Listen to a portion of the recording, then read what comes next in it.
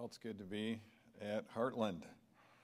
I was uh, thinking uh, the last time uh, we were here was uh, 19 years ago uh, in 2002, and this was the first talk I gave after my father's um, uh, shocking death that occurred. And it was hard for me to speak on some of the topics, uh, having just lost my father that uh, was uh, uh so much of my success in life uh, is credited to him. Uh, he was a great man and loved the Lord, and I couldn't have asked for a, a more ideal or better father. I know that puts me at an advantage in so many ways. Studies show that if you have a, a, loving, authoritative father, you're far more likely to succeed in life, and you're far more likely to be able to solve your own problems as well.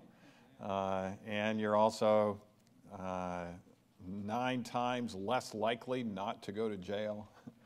Uh, you're more likely, eh, when you marry, to stay with the same woman throughout life. There is so much, uh, so many positive things that come from a loving, authoritative father.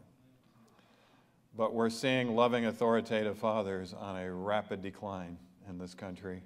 And that's one of the reasons why we're seeing the deterioration of so many aspects of America uh, is because of the absence of loving, authoritative fathers. So uh, that is um, uh, certainly in my memory in the last time I was here. The first time, which was, um, uh, that would have been 1994, I think I spoke at a convocation here.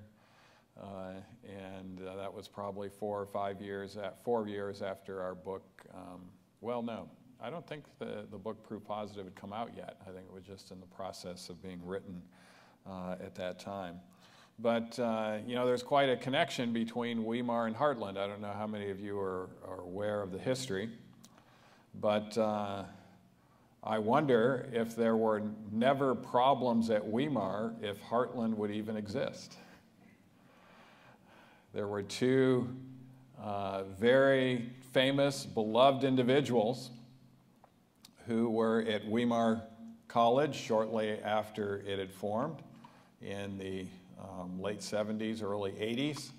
The academic dean of Weimar College, you might have heard of, his name was Colin Standish. And the chaplain, I will not name, but the chaplain was very popular, probably even more popular than Colin Standish.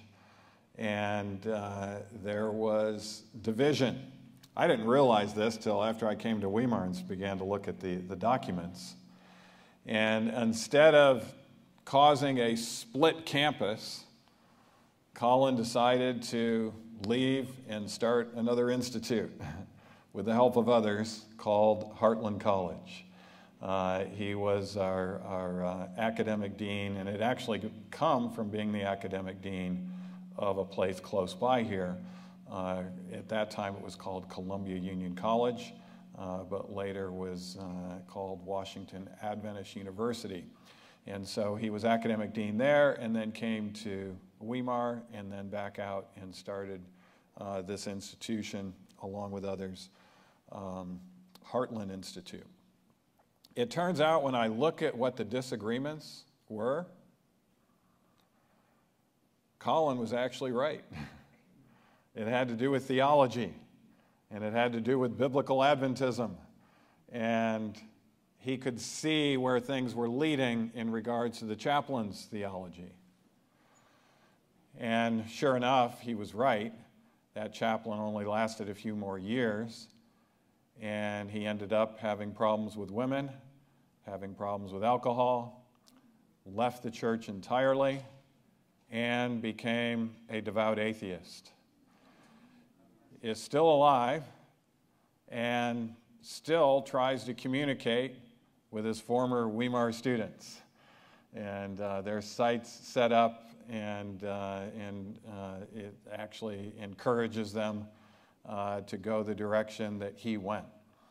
it's very uh, difficult uh, at times because he was so popular at that time and so loved by the students and others to, um, you know, to, to see the, um, where this pathway has led him.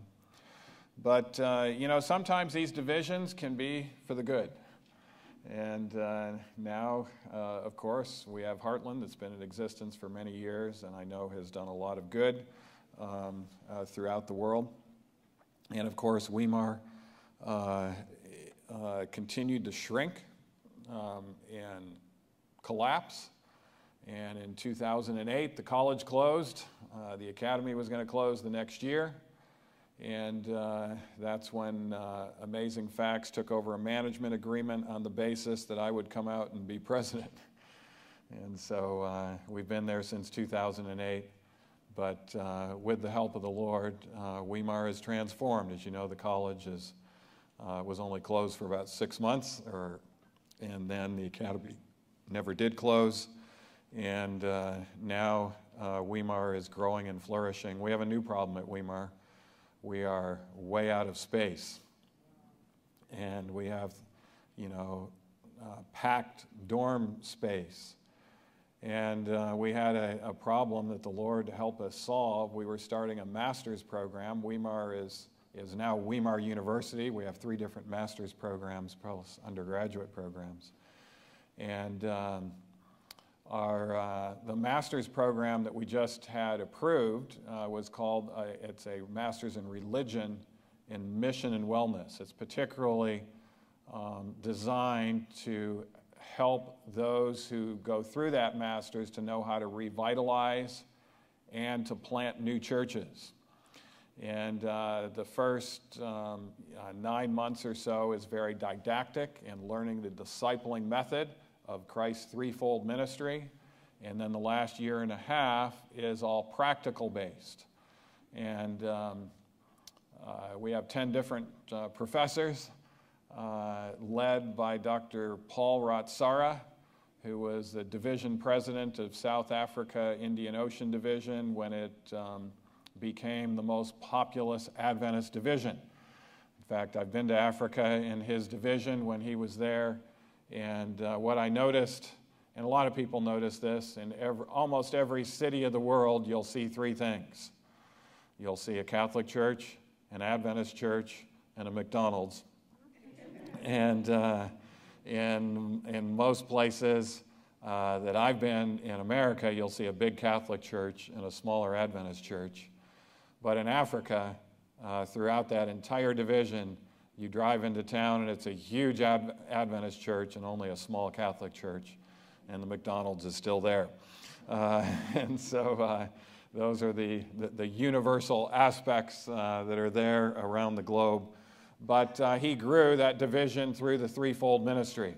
He loves the, utilizing the health message, and I've worked with him uh, in those countries over there doing health programming for the the parliaments and for the presidents and for the governors. And um, he is heading up a team of 10. But we could only market the program uh, after we got approved, and our accreditor uh, has to approve uh, each of the programs. We have to go through it all. And uh, they approved uh, this program five weeks before school was to start, and our CFO says, We're not starting this year until you have 12 students. You know, one of the things that uh, Weimar board uh, makes me follow, it's a thou shalt not. As president of Weimar, one of the thou shalt nots is thou shalt not spend more money than what you take in. And so every, uh, everything has to be paid for. And so, in order for this master's program to be paid for, we needed 12 students. And uh, Paul Ratsara was very much like Jesus. He scoured uh, the world and he came up with 12 uh, apostles, uh, so to speak, that are willing to be trained by these 10. Uh, and in five weeks, they were there. Many of them dropped their job. One of them is a, a physician and uh, from Germany, and he lost. He, he was even going to lose his license because you can't quit practicing. and he didn't even know whether he was going to lose his license or not. He came over and it was, he appealed to be able to keep his license. And they, after he arrived, three weeks after school started, uh, they said that he could keep his license uh, as long as he goes back to Germany. So he's going to be, and we have uh, 12 from all over the world, actually 16. There ended up being 16 uh, in the program. But there was no place to put them. All of the housing was packed, all of the dorms were packed, and these were master's students that some of them had children, many of them had wives. Uh, no places like that. You can't just live in a dorm. Plus, all the dorm space was filled from the undergraduate program. We had been putting up a staff housing complex um, that was taking some time, but uh, in part because we have a very um, strict county that um, has all of these rules and regulations. Um, sometimes California is called uh, Commufornia uh, because of all the rules and regulations that are similar to communism uh, and, uh, and, and that progressive side of things. And so it's a beautiful state to be in, but a lot of people are leaving it because of the politics, as you might know. Uh, but nonetheless, uh, with all those rules and regulations, they had denied us being able to have occupancy. We had to fill out, do pages of things. There are all sorts of things uh, that, that had to be uniquely done differently. But fortunately, five days before the school was to start, the county approved it and said, You are ready for occupancy. And of course, we couldn't even put all the furniture and beds in. So in five days, we were just, uh, my wife was spending. Uh, uh, a large portion of her day in IKEA. Uh, and then uh, we were having to construct all this furniture and beds, but the 16 had a place to live now, along with their children. And uh, it's actually called, um, we actually just had a, um, a, grand opening of the building. Uh, the first memorial uh, to John Tindall, the great threefold evangelist uh, that um, was actually the mentor of Pastor Mark Finley. And since uh, there was no monument to him anywhere in the world, Mark Finley came over and talked about John Tindall uh, as we expand this threefold ministry. So, um, exciting things I know happening in both campuses. And I just learned in coming here that one of your recent graduates is going to be entering one of our other master's uh, programs. So um, hopefully, um, some of you Hartland students will think about Weimar for your graduate studies. I know this is a great place to be here for your undergraduate studies, but uh, for your graduate studies, um, she'll be taking the, um, uh, the master's in counseling and wellness. And that's another miracle story how we got approved, even under a progressive uh, political state, to actually have our graduates sit for the, the board exam for a, being a licensed counselor, either in marriage, fam, marriage and family or other uh, places. And we made it abundantly clear that we are unapologetically biblical and uncompromisingly scientific. And despite the unapologetically biblical aspect of things, we still got approved. Uh, and our, uh, our students can still uh, sit for their license board exam. In fact, I think it would be um, uh, worthwhile uh, for me to, to quote, seeing that we're uh, from one educational institution to another.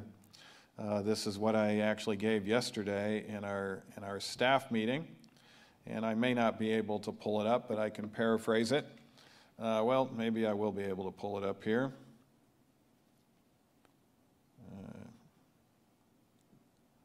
Yes. You know, Martin Luther, when he was committing his life to the Lord in this monastic environment, he came across a Bible that was chained to the wall of the monastery in a hallway. And when he read that Bible, as he started reading it, he was just filled with the sacred messages from God. He said, I wish I could have one of these myself. This is so impressive that I'm reading the Word of God. And upon reading it and studying it, he began to realize that this word was not being carried out uh, very well, even among the church and the major churches. And as he studied it more, he began to realize the church needed reformed. And his attempts to reform the church were not successful, and it wasn't his desire to start a new church, but that's where the Lutheran church came from. But uh, shortly after he had uh, left Rome, he was studying at the University of Wittenberg. I've had the opportunity to, to actually lecture there. Also at the university, there's another university where Dr. Alzheimer comes from in Germany, and it's also where Pope Benedict did his education. I've had the opportunity to speak there as well. Uh, but um, he got his doctorate of divinity, and he said, Now I am so glad I'm through with this because I can study the Bible more. and he wrote this shortly after this because he had been at the universities getting the highest degrees. I am much afraid that the universities will prove to be the great gates of hell unless they diligently labor in explaining the Holy Scriptures and engraving them in the hearts of youth. I advise no one to place his child where the Scriptures do not reign paramount. Every institution in which men are not unceasingly occupied with the Word of God must become corrupt. And so we see the corruption of universities.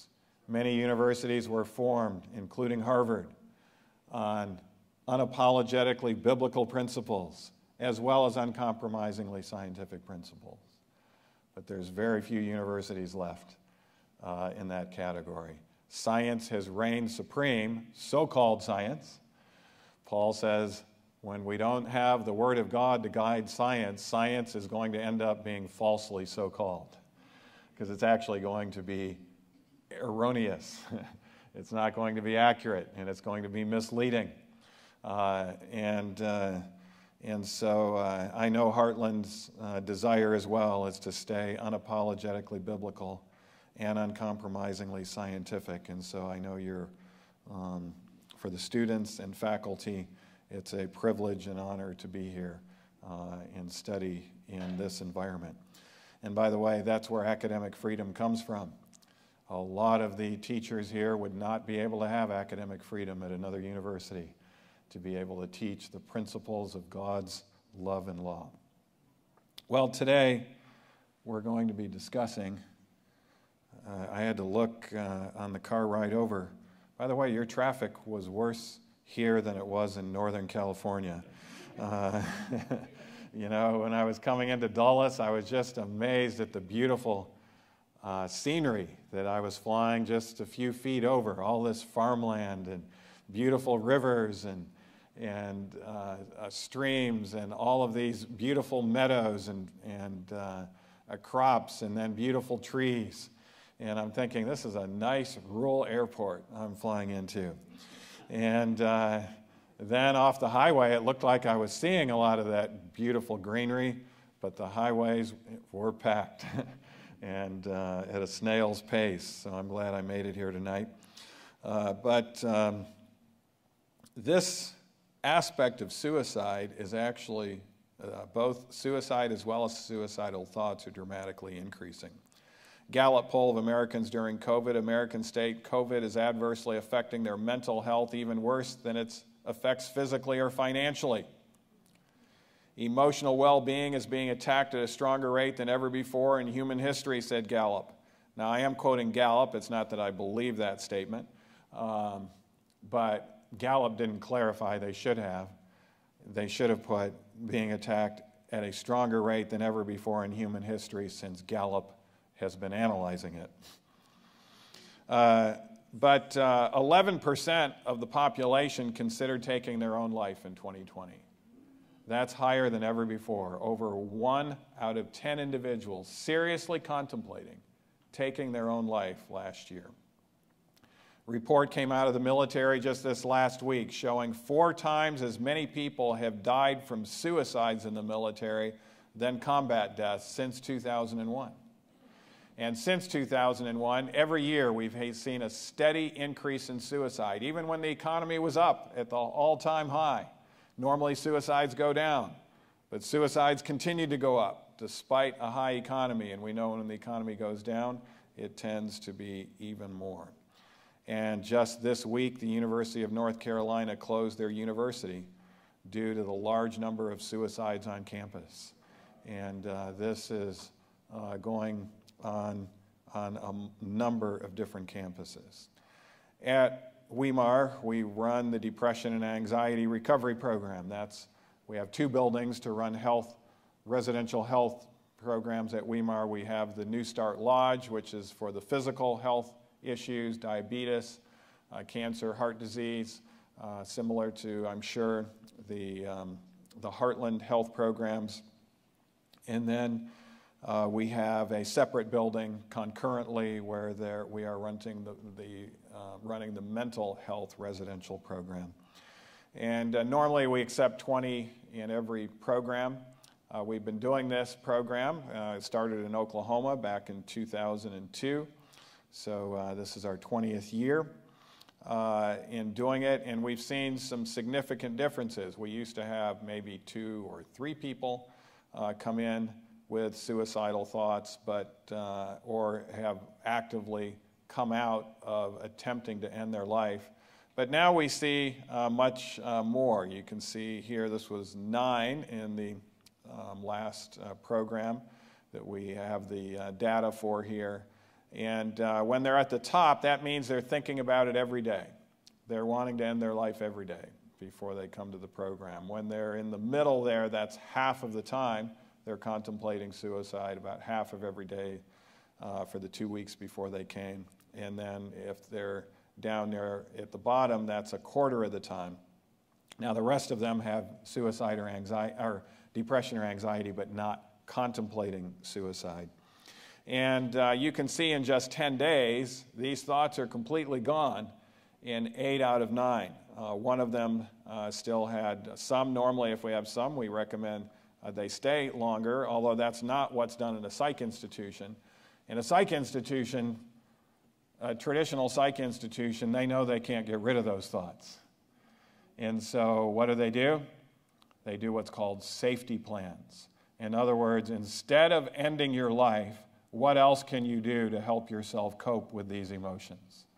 And so the counselors are taught about safety plans. I'm sure we'll talk We'll teach about safety plans in our master's program as well, and how to do that utilizing cognitive behavioral therapy. But far better than safety plans is when the thoughts are completely gone and not even on the radar screen. And uh, this is something that can occur in a relatively short period of time in a comprehensive approach. So, our average for those that come in with suicidal thoughts is uh, they're thinking about it half the time, and the average at the end of the program uh, shows well over a 90% uh, reduction, 95% reduction uh, in that. And, uh, and once again, if they're not uh, reduced, then we keep them longer. It's a 10 day program, but they can stay 17, 24 days as long as it takes for those brains to change and for those thoughts to become more rational and healthier. But, you know, with suicide as well as other important decisions in life, there's a hymn um, that has these words to it Once to every man and nation comes the moment to decide. And uh, this often, uh, the, when important decisions are made, the person doesn't even realize how important it is. So I'd like you to open your Bibles. We're going to be talking about suicide in the Bible. This is not just a modern topic. There are, depending on how you look at it, six or seven suicides in the Bible. I'm going to say six, although some will say seven. We won't get to all of them tonight. I'm going to be dealing with a couple of them uh, tomorrow. Um, but I want to deal with someone who actually we don't have the record that he committed suicide, but we certainly have the record that he wanted to on more than one occasion. So I'd like you to open your Bibles to the book of Jonah. Jonah chapter 1. Now the word of the Lord came to Jonah, the son of Amittai, saying, Arise, go to Nineveh, that great city, call out against it for their evil has come up before me. Jonah was a prophet. The Lord communicated with him audibly, directly, and he was known to be a true prophet. Prior to this, he had prophesied something that was thought not to be, to be very unlikely to occur, and it's actually recorded in Kings that it did occur. Everything that he said would happen came to pass, indicating that God was with him and had communicated with him. And so now, now God communicates with him again and tells him that Nineveh's wickedness is so bad that it's time for their destruction. But before it's destroyed, there needs to be a warning. Verse 3 says Jonah rose to flee to Tarshish from the presence of the Lord. He went down to Joppa and found a ship going to Tarshish. So he paid the fare and went down into it to go with them to Tarshish. And what does your Bible say? He was trying to get away from what the Lord was telling him to do, and even trying to get away from his presence. Now, we might not understand why Jonah was so insistent in not following the Lord's will. Sometimes the Lord tells us to do something that we actually don't want to do.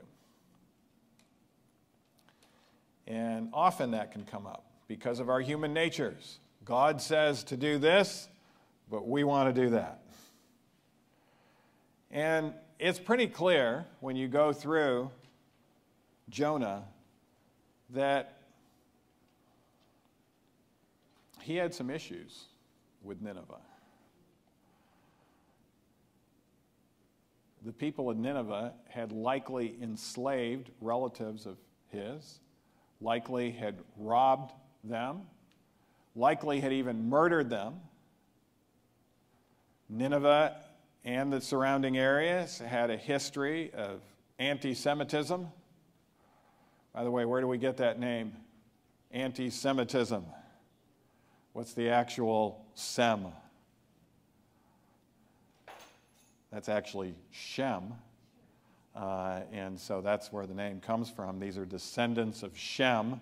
And of course, Israel or Jacob, Abraham was a descendant of, of Shem. So anti Semitism is really based on the history of the uh, three sons of Noah. And, uh, and so there was a lot of pain that had occurred to those that Jonah had at least known about and probably knew personally as a result of the wickedness. And he's thinking, God, just destroy it. Don't send me there. Was there a reason for him to fear? There was. These were wicked people.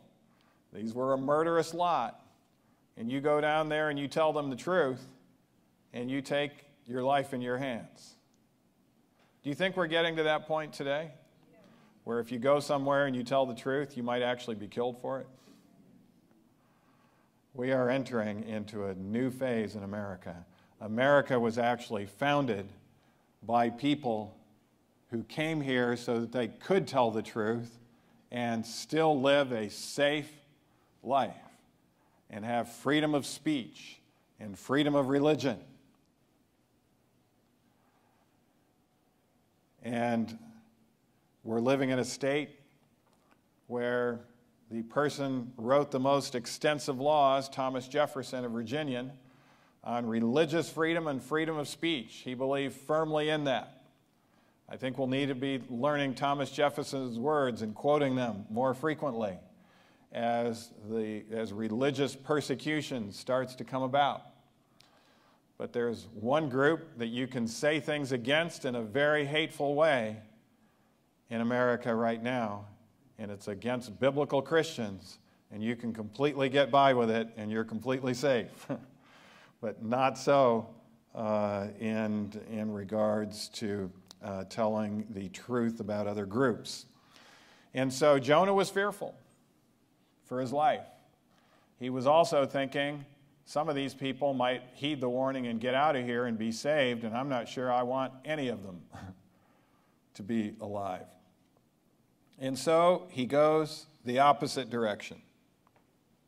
Nineveh was south, and Tarshish, he's going north.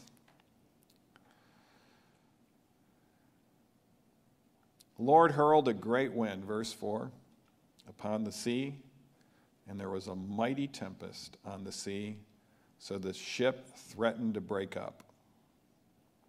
Verse 5 Then the mariners were afraid. Each cried out to his God. They hurled the cargo that was in the ship into the sea to lighten it for them. But Jonah had gone down into the inner part of the ship and laid down and was what? Fast asleep. How could he be asleep with this tremendous storm that was going on? One of the symptoms of severe depression is hypersomnia. You can get insomnia and you can also get hypersomnia. Hypersomnia is when you want to sleep all the time. We've had people come to our program who are sleeping 20 hours a day. They're barely awake long enough to survive and to eat and to be able to um, uh, stay clean enough to survive. And when they are awake, we had one woman come who was sleeping 20 hours a day. And the four hours that she was awake, three of those, she was directing her family from her bed. She was on, actually only out of bed for about an hour a day. And, and so uh, it's clear that Jonah had this hypersomnia. I also think with the ship about ready to pull apart, he might have actually awakened, but he was so depressed, it's like he didn't care. And you know, have you ever been so despondent that all you wanted to do was hide in a dark room and isolate yourself from other people? Have you ever been so depressed that all you could do was sleep? Or have you been so hurt by what others have done to you or those that you love that you find yourself hoping that bad things happen to them? This is a sign that there's a problem when we are hoping that bad things happen to our enemies. And have you ever dipped so far down that you no longer cared about your life or the safety of others? If you answer yes to any of those questions, then you can relate to Jonah. The book of Jonah continues. The captain, searching around, found him down there and said, What do you mean, you sleeper? In other words, how in the world can you be sleeping through this? Arise, call out to your God. Perhaps the God will give a thought to us that we may not perish. They said one to another, Come, let us cast lots, that we may know on whose account this evil has come upon us. So they cast lots, and the lot fell on Jonah.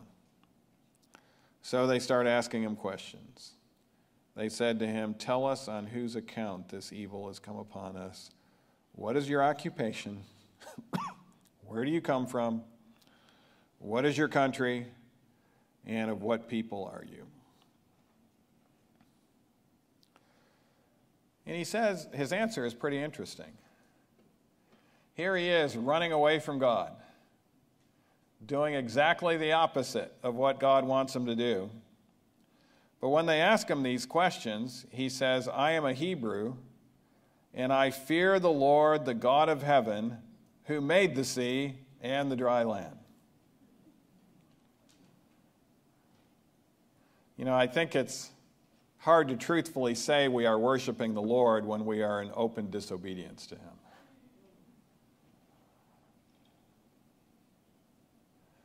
But you know, this can also apply to us. You may be reading the Bible, singing songs of praise, attending services. But if you're just going through the motions, you're not truly worshiping God. Obeying Him would include allowing Him to live in your life and empowering you to live the life the Bible outlines. And this also involves sharing His love to who? Sharing His love to others.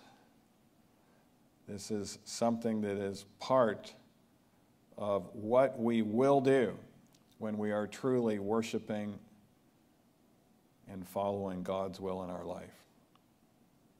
If we know what should be done but are not, fear is present.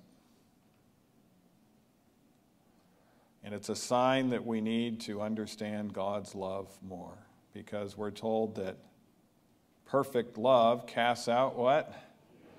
It casts out fear. And Paul said, God has not given us a spirit of fear, but of what? Of love and of a sound mind. The story goes on. Then the men were exceedingly afraid and said to him, What is this that you have done? For the men knew that he was fleeing from the presence of the Lord because he had told them. Then they said to him, What shall we do to you that the sea may quiet down for us? And the sea grew more and more tempestuous. They didn't want to do what he was about ready to ask them to do. But it was an extreme situation. So Jonah said, Pick me up, hurl me into the sea. Then the sea will quiet down for you. For I know it's because of me that this great tempest has come upon you. That tells us that even though Jonah was a prophet and God communicated with him, Jonah's understanding of God was not complete. Jonah had not yet experienced God's mercy and forgiveness. Jonah saw the storm as a punishment instead of being sent by a loving God who valued Jonah and did not want him to run away from him. This is what happens. People come to depression and anxiety recovery. We ask them these questions Do you think you're being punished? The vast majority say yes. I'm being punished. But that's because they don't understand the loving God. God usually has not put them in those situations, but God has allowed it has not intervened for them because he wants them to turn around. He wants to lead them to repentance. By the way, if God was just interested in Nineveh and was utilizing Jonah to accomplish what he wanted for Nineveh, he would have just found somebody else to go over there and do it. So this wasn't just God's love for Nineveh, he loved Jonah. And in this state of depression, without faith in a loving God, Jonah becomes what? What would you put in that blank? Becomes suicidal. And he asks for assisted suicide. Apparently, he couldn't jump out of there himself uh, because of the way the boat was built. So he asked for their assistance for him to commit suicide. You might be experiencing a tempest in your life, and it might be in part due to the choices you have made. But whatever the tempest, God did not send that to punish you. He allowed it to draw you to Him to get you back on course. He allowed it not because he's angry, but because he what? Because he loves you and he values you and he has a plan and a purpose for you, just as he did for Jonah. And in every calamity, God has a purpose and a plan. Jonah seemed to forget how God accepted Jacob's and Moses and David's repentance. And thus, he seemed to think the only way to stop the storm was by his death.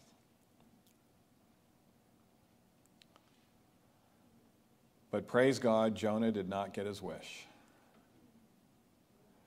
As if his life could not get any worse, it just did. And this is what happens to a lot of those who attempt suicide. They think their life can't get any worse. By the way, do you know what percent of people are successful in committing suicide? It's only about 5%. 95% chance as a result of your attempt, your life will actually now get worse. And by the way, I think the reason why people are not more successful in this is because God actually is intervening for them not to end their own life in the vast majority of cases. We had a woman come to us.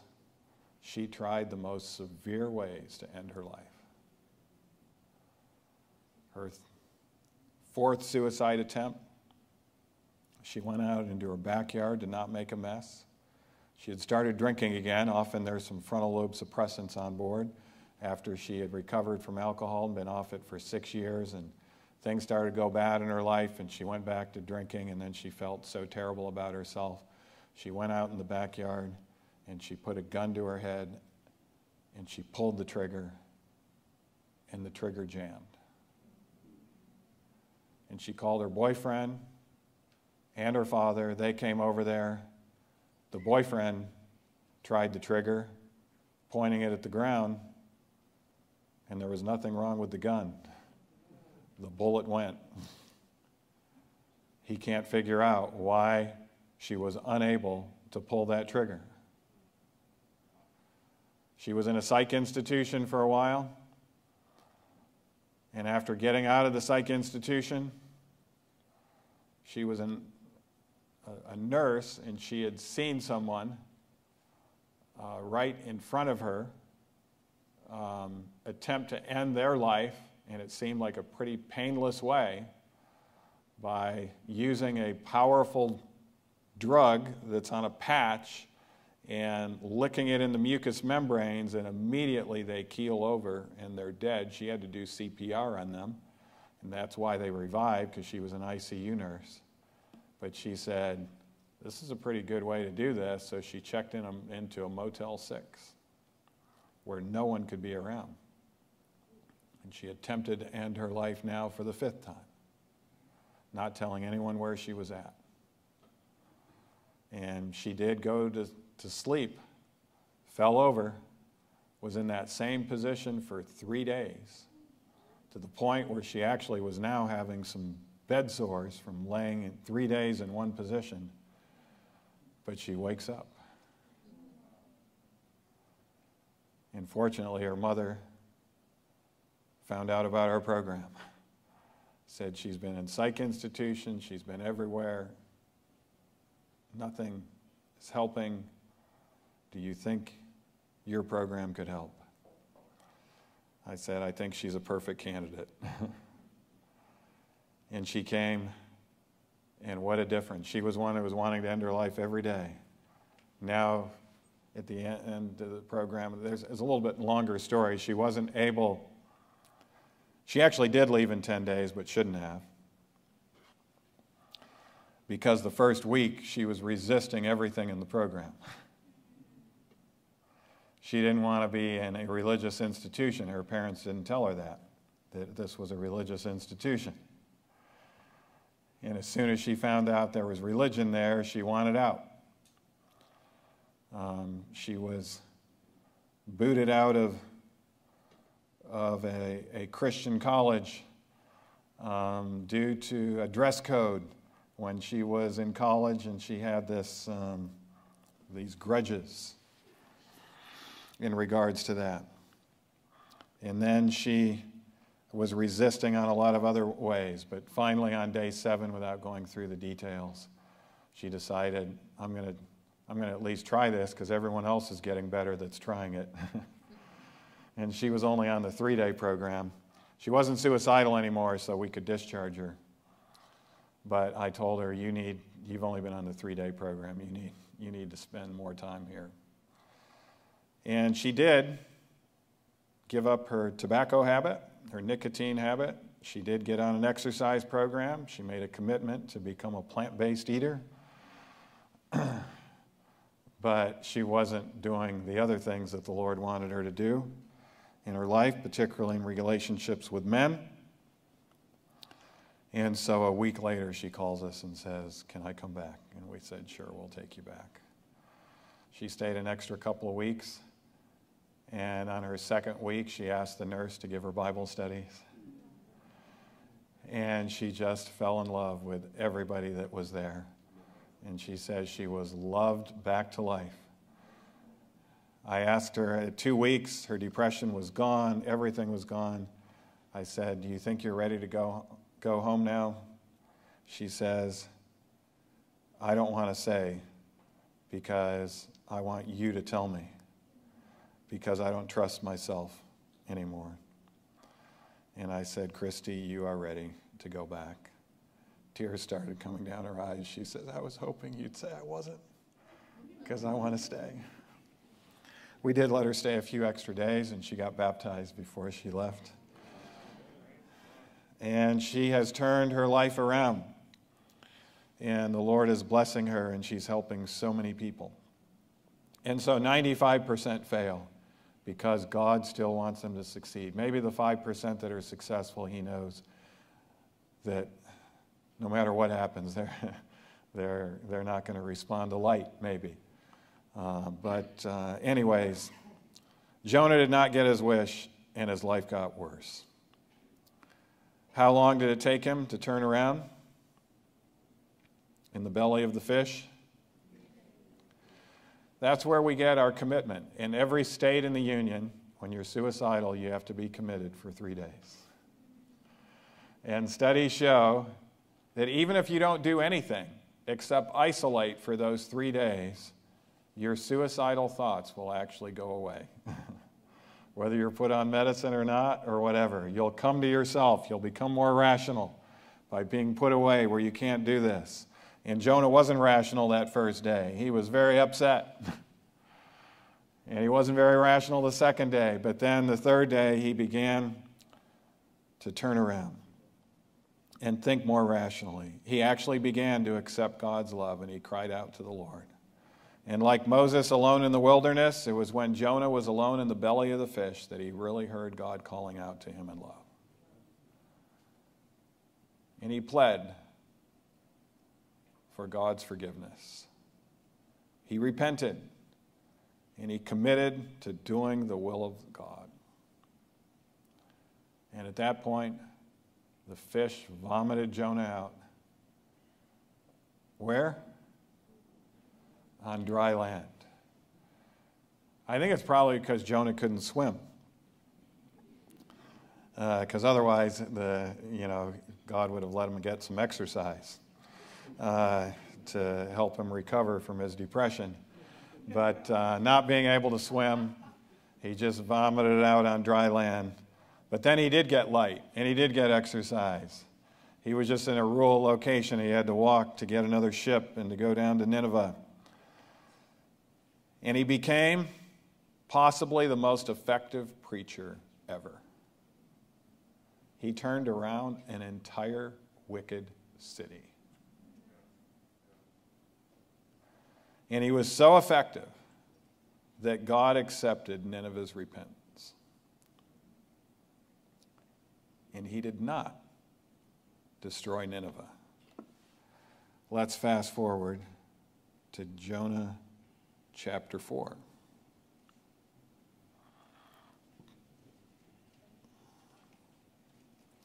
It displeased Jonah exceedingly, and he was angry.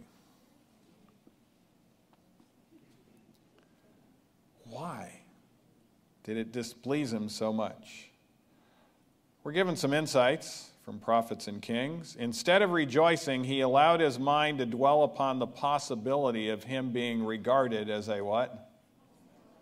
A false prophet. He was well known to be a respected true prophet. Now he thought since God wasn't coming through, he was going to be a false prophet. Jealous of his reputation, he lost sight of the infinitely greater value of the souls in that wretched city. And although he had accepted God's forgiveness for him, it had not transformed his life so that he was willing to completely forgive his enemies that had wronged his people. And some of us have problems with forgiving those that have wronged us or wronged our family members. Forgiveness is recognition that God is stronger than the people who have wounded us. And God is stronger than the past. Choosing to forgive, giving the frustration, anger, and hurt over to God allows us to heal. And a lot of times people think, well, forgiveness is telling people that what they did was not really all that evil or that it was okay or that they should just forget it. No, forgiveness is not those things. We don't forgive people for things that they did that were okay. We forgive people for things that they did that were wrong. And it doesn't mean that punishment will not be enacted towards the wrongdoer. If they did wrong, the consequences still should come. Forgiveness, yes, the wrong, for, forgiveness is letting their wrong be their problem and, cho- and not having it be your problem. I choose to trust that even the negative physical, financial, or emotional effects that their wrong choices have had on me will be worked out together for good by God who is bigger than all that happens in the world. And so we see a lot of people being suicidal as a result of their lack of forgiving spirit towards those who have wronged them. I'm going to skip through. I want to, since we're on this, this aspect of things, yes, I'm going to uh, go into suicide number four in the Bible that has some similarities but also some differences. Suicide number four in the Bible this gentleman was highly intelligent. In fact, he was one of David's most trusted and wise counselors. And he had an issue on how to deal with someone who has wronged you, who is very powerful and well liked. David was very powerful. He was also very well liked by the people. And although Ahithophel was not wrong directly, he was Bathsheba's relative. And he was not at all happy about what David had done to Bathsheba and Uriah.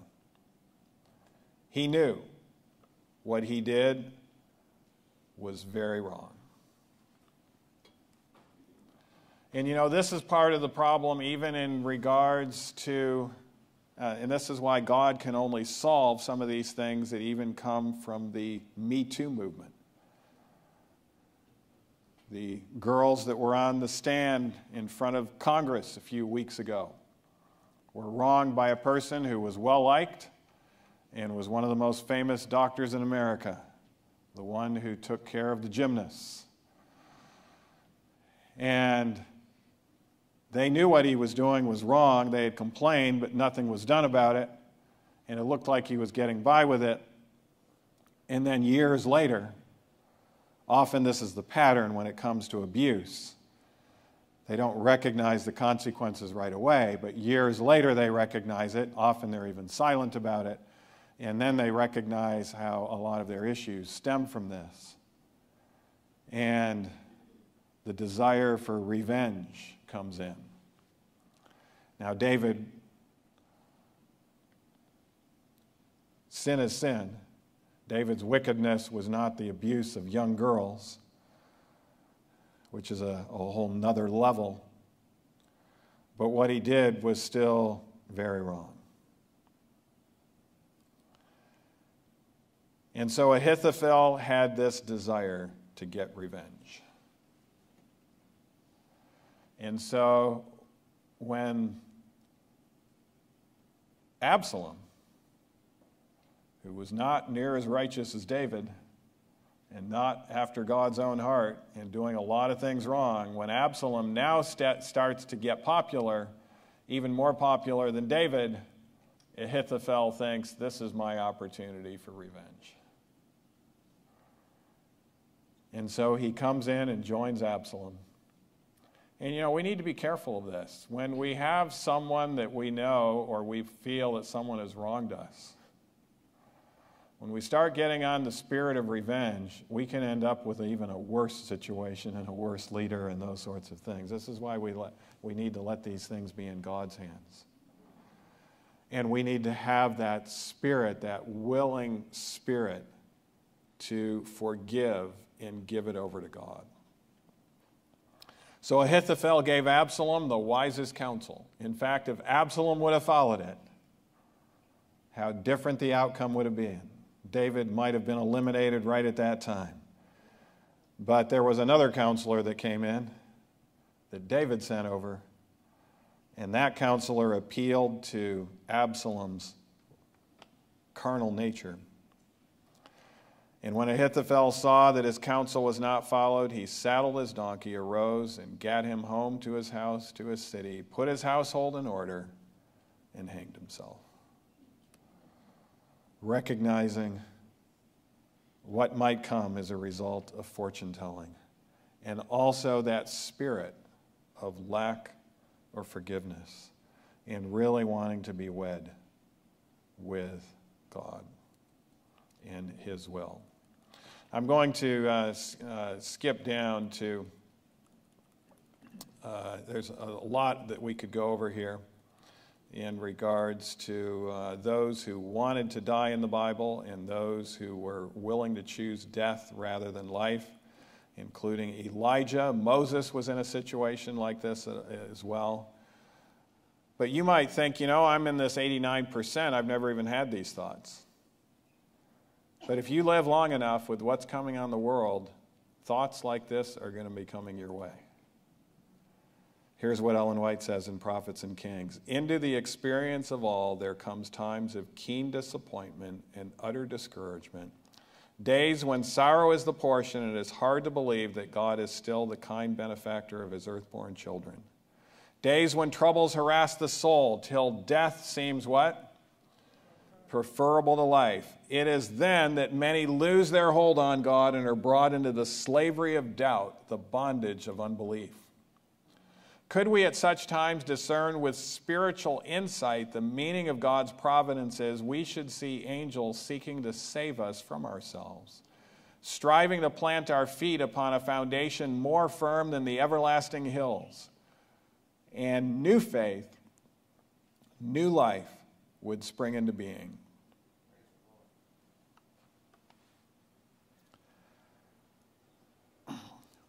When that time comes, and if that time comes, and even if some of the bad starts happening as a result of not following the Lord's will, like Jonah or Ahithophel, or I could go into others, Zimri, and uh, some of the other suicides in the Bible. when people are willing to give up on life, instead of giving up on life, all they need to do is give up and put all on the altar their carnal nature. Instead of giving up on life, let's put our desires on the altar of sacrifice and ask God to fill our lives with His love. He is willing to turn us around. He is willing to accept us if we are faithful. He is faithful and just to forgive us our sins if we are willing to repent and turn away. And so the real solution is not giving up on life, it's giving up on our own will and way and submitting our will and way over to God. In a way, I see people that have been suicidal because of the disappointments in life and even the unfairness that has come their way and the choices that they've made is actually being quite close to being converted, as was Christy. Five times attempted suicide, now fully following the Lord's will and seeing the benefits. That story occurred, I think, three years ago. She's gotten promotions, she's gotten more advanced degrees. Her desire is to now she's gotten she's in a nurse practitioner school taking a psych nurse practitioner training so that she can work in depression and anxiety recovery centers and turn other people around as a caregiver and those sorts of things but she's already doing it all along the way. And god has a plan and purpose for you. When you're ready to give up on life turn to god in his will and way. But I would encourage you not to just wait until then. You can save yourself a lot of trouble if you decide now to follow God fully in His plan for you. And then you will be willing to die, but not to get out of this life. You will be willing to die to save others. And we have so many examples in Scripture of those who were w- willing to even lay their own life on the line if someone else could be saved eternally. And what a blessing it is to join Christ in that type of self sacrificing love for the good of others. I'd like you to open your hymnals for our closing hymn. Once to every man and nation comes the moment to decide. I don't see that you have hymnals here, so I think I might actually have it on the screen. Let's see if I can go forward. Let's see, reconnect. Sorry. I should not have closed this down.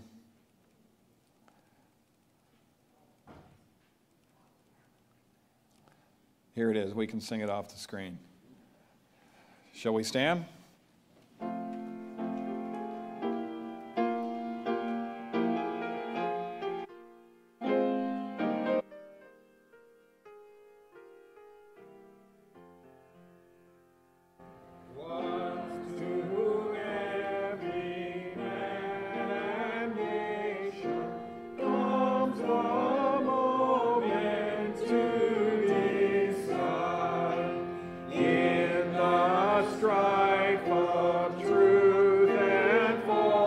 stood